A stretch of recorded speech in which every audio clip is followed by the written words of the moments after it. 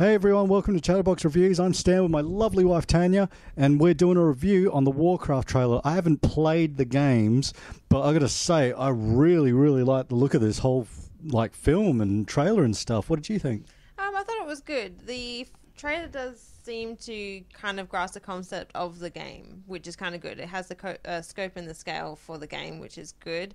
Um, but the orcs do look CGI in this, which is kind of like a gamer's kind of feel, I suppose. But I don't know. I mean, that's like they've got big shoes to fill because with all those games like cinematics that they have, like man, they've got to top it. And I think that this has sort of done a really good job of it.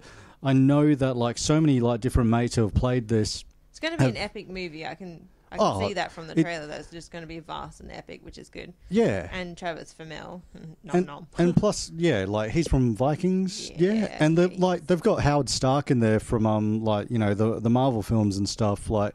Uh, Dominic, I forget his name, but like, yeah, he's in it. He looks like he's playing a king, but I think like there's a good reason why they saved this for after all the Hobbit films, after all the Lord of the Rings and stuff. It's got a nice kind of scale of like 300 meets sort of Avatar, like in yeah, effects yeah, and I stuff. definitely agree with the Avatar kind of aspect of it because it's kind of like a new world aspect of the orcs trying to intermingle with the humans, which is pretty Yeah. cool.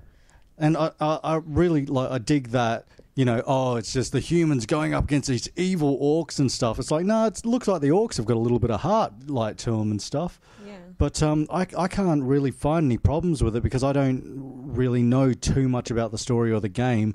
But like I'm in. Like it's going to be a big year next year for like movies and Mm. Well, I love uh, World of Warcraft, the game, so I'm really looking forward to this movie.